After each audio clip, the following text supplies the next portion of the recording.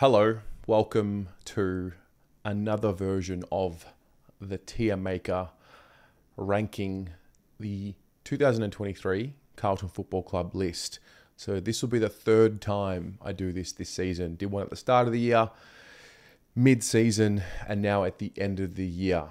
Um, I actually remember doing this in the middle of the year. I was so salty. I was so mad. We were all so broken.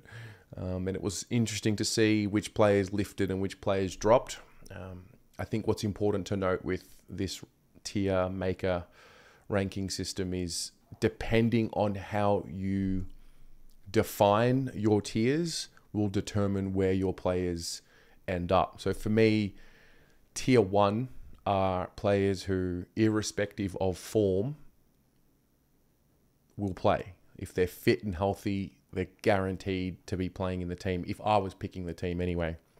Tier two, you will see players who are not that far off tier one, not absolute certainties, and that'll reflect in the way in which their seasons played out.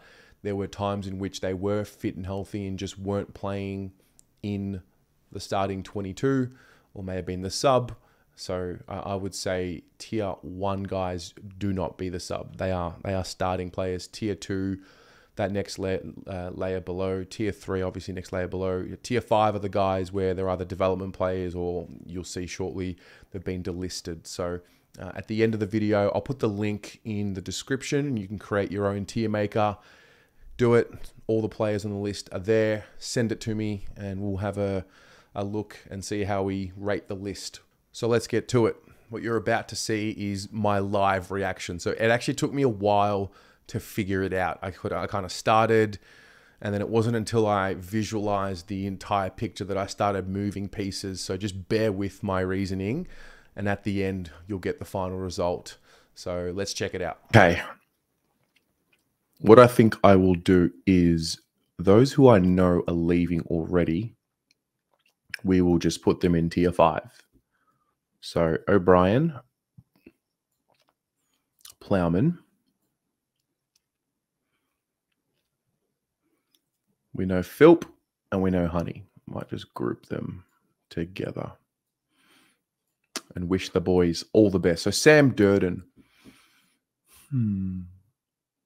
I, I just don't see him playing unless Weitering, McGovern, Marchbank, like all of these guys were injured.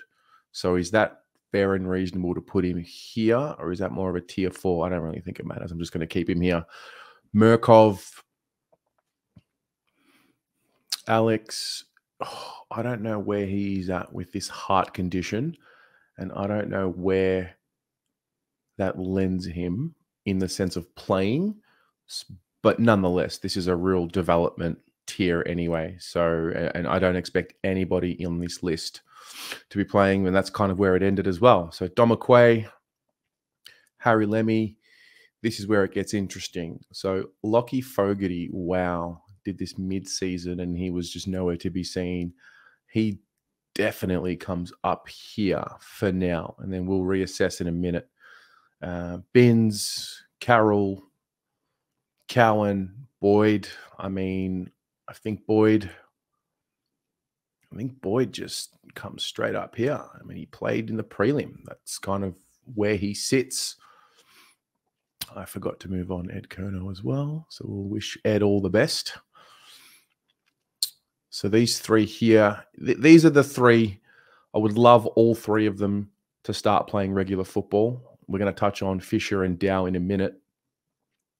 But if we lose Fisher and Dow, We've already lost Ed, Ed Curnow. Uh, these are guys that have played double digit games, some of them. So we're going to need Carroll, especially, to make a bit of a quantum leap and get himself into here next year. Uh, Binns in his second year showed a lot of promise in his first year. So we're going to need to see that. And and I, you know, Cowan's got the capabilities as well. He, he started the season in the team. So um, this these three are, are really really big preseasons coming up for these three in particular because I expect one or more of them, if not all of them, to be in here. So Boyd, comfortable with where that sits. That's a pretty good story there, the way we picked him up and, and where he's come from. Same with Fogarty. Cincotta, I did not have him on this list when I did it in the mid-season. Bit of disrespect to the to the Pom Cotter, uh, but nonetheless, uh, mate, played in the prelim, you know. So uh, I think he sits in this group here. Fish, it's tough. Looks like he and Dow, at the time of filming this, strong reports from the media that the two of them will be leaving. And look, I think I might have had Fisher in tier two at the end of 2022, given uh, the good season that he did have. I, like, I still think he can offer something to the list. He can play games and contribute, but I think there's a few too many ahead of him. Uh, probably same with Dow. I think he's capable of playing games for us moving forward, but you know, he wants some job security unless Nick Austin and the team have some plans as to who's going to replace them. As I mentioned, you know, from these three here, we're going to have to replace the games that these two would have gotten, plus whichever draftees come in, plus if there's any free agents. So I'm comfortable with where the two of these sit. Cunners, ooh, Cunners. I'm tempted to put him up on tier two. If Cunners is fit and healthy, for the most part, I think he's in the team. His form dropped off at the very end, which suggests to me that he's a bit too good to be with this group here. Hmm, I think I'm talking a little bit more on potential, maybe a little bit further up on this list as opposed to in tier two. Maybe we can revisit that. Um, Jesse Motlop, oh, he may be up here. Yep. Yep.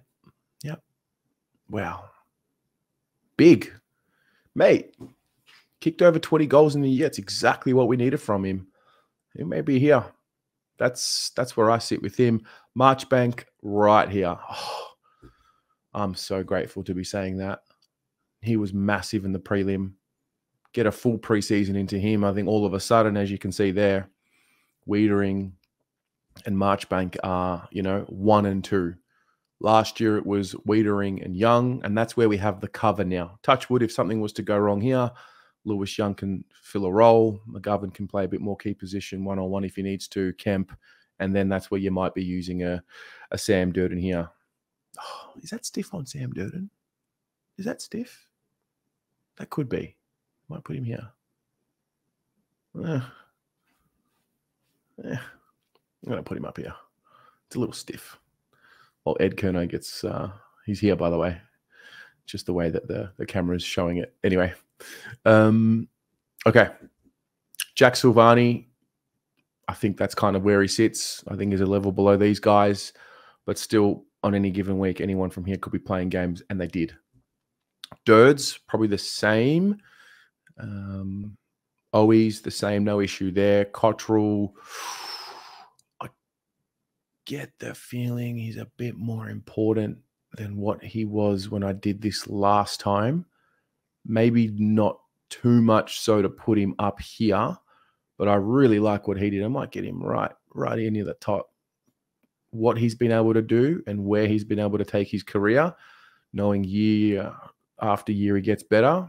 Really excited with another preseason, hopefully not interrupted like the one for 2023. Holly Hollands, huge. Could borderline put him here. Huge, huge what we saw from him. Kemp as well. They're all going to end up in the same spot. Kemp as well. Lewis Young fell a bit. This is an interesting one. Like I said, really strong situation to be in, especially now that Marchbank is healthy. Lewis Young has kind of fallen into that. He's sort of fallen in the pecking order, but I, I just think it's a great long term view. Let him fight his way back into the team. Let him figure it out. He's still very young, uh, relatively speaking. Had a really good first year with us may have been some chemistry issues, may have been some form issues, some confidence issues, you know, disposal by foot. So, but these things you can clean up with commitment. So I like him there. He could play for us if we needed him to and we trust him. Same with Pitto, TDK. This is the debate. such a big debate. We might do a separate video on this altogether because sometimes I think it should be Pitto with a smaller ruckman. Other times I think it should be De Koning with a smaller ruckman. And other times I think it should just be the two of them. I think it just depends on who we're playing. Already touched on Kemp Cunners. Yeah, next year, I think De Koning's the one. He's really starting to enter the sweet spot. Played some pretty good finals, uh, considering where he's at with his career, and he's just about to enter into that sweet spot, I think. So we touched on Marchi, touched on Motlop. This is a really good one for us. Really good story. Um, just so dangerous. Obviously a bit quiet in the prelim, but he had solid moments in the other finals. Jack Martin. So based off my own definition, tier one, if fit and healthy, are definitely playing. And I think if Jack Martin is fit and healthy, he's definitely playing in the Carlton team. No question. I don't see a question about it. So I'm going to put him there. Okay, that kind of messes up with the format, but that's fine. we'll figure it out. So Martin up there. George Hewitt. If George Hewitt is fit and healthy, is he definitely playing? I don't think it's the case like it was only 12 months ago. It's the closest one I can think of. I'll be honest. He's like the closest one. I think we had moments this year where he was fit, maybe out of form, and wasn't playing in the starting 22. And that's the that's the the criteria for tier 1. If you are fit and healthy, irrespective of your form, are you in the team? Tough. Tough. I'm gonna leave him at the top, at the top of tier two. Sorry, Gov. Uh, Kennedy. Well, this is the thing. Kennedy and Hewitt. There, there was that patch in the season where it was kind of one or the other, and that's where I'm getting a little confused. Now, based off my own theory, I think if Zac Williams is fit and healthy, he is a absolute guarantee to be in the Carlton team. I don't know why I didn't have him there from the beginning. Maybe my definitions changed, but I'm just, I was a little bit angry at how the boys were playing. So I tried to punish them a little bit. So Zac Williams, if fit and healthy, irrespective of form, is he playing? Yes, absolutely he is. Absolutely he is. Acres, you could even mount a case for Acres as well to be in that exact same description. Fit and healthy, is he playing? The answer is yes. The answer is yes. I don't think he was dropped at all this season. So, McGovern, if McGovern is fit and healthy, is he playing in our team? The answer is yes. Irrespective of form, the answer is yes. No question. I feel like I'm going to need to remind people watching this is not tier one in the AFL. This is just our list. If we are playing a game tomorrow, these are our first, what I believe to be our first choice players. If fit and healthy, first choice. Absolutely first choice players right there. This is the next layer. Oh, I could mount a case that Marchbank could be here, but I think that might be pushing it a bit based off what we saw. We've got to give him some room to grow, to grow there. Uh, I got no issue with these guys. I wouldn't drop any of these guys below. I mean, we saw it. Some, if not all of these players were out of form at some point in the year, maybe apart from Cerra, and they still played. Um, this is that next layer. Really excited about Jesse Motlop. Really excited about him. I really cooled the Jets on the pressure on him, but I'm stoked. This is that next layer. I think maybe De Koning should be here and Pitto because they are our ruck. I mean, by default, they are our guys. They are ruckman. They are. It's one or the other or both. So I think they should be here, and I think that makes a bit of sense. Still feel like Cunners is a bit stiff to be here potentially.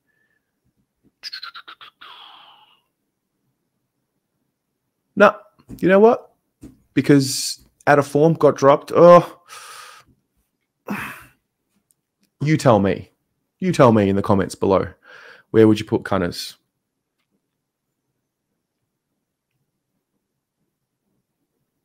Mm.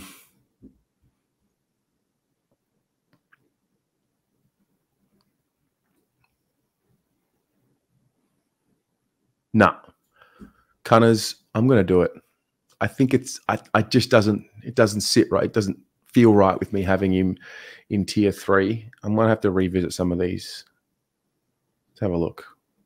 See, there's 20 between tier one and 20 and tier two. I think this is kind of there, kind of there. I think you can mount a case that Cottrell can be here. I'm going to do it. Yeah, it's got to be done. It's got to be done. Maybe even Hollands. I mean, we love his run, don't we? Yep, to do it. Hollands.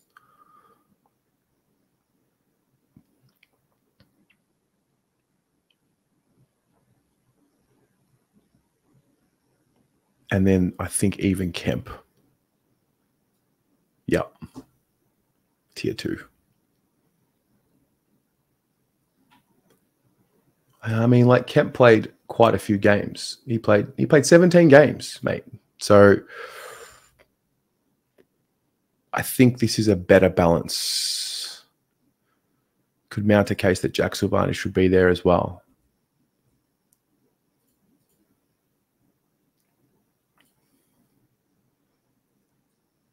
Silvagni played 16 games. Mm, okay. Yeah. So if I look at this, the bulk of our selections came from tier one and tier two. And that's kind of where our list is. These guys are, you know, undroppable to an extent. I think Acres earned the right to be there. These guys for the most part, play. I think Hewitt might be a bit stiff to be here, but I still think that's where it sits with me. I have an instinct of it. And I do think that these guys are a level above these guys. Oh, could be unfair on Owies.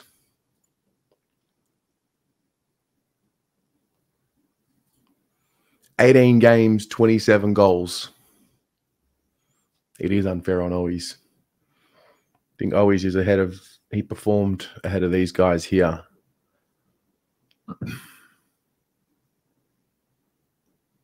Yep, let's do it.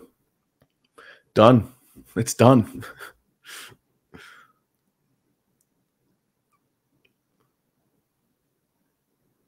yep. I think this is right. I think a few line ball, you could really argue Hewitt can be there. But I think this is right. These guys, undroppable, irrespective of form. These guys make up the final couple of spots. These guys building, not first selection. I know that Cincotta and Boyd actually played in the prelim. So does that go against what I just said? I don't think so because I think again, if everyone is fit and healthy, that's where I'm I'm seeing this. Like these two layers here are the bulk of the players that play every week. Um, I know that some of these guys finished really strongly, particularly these three.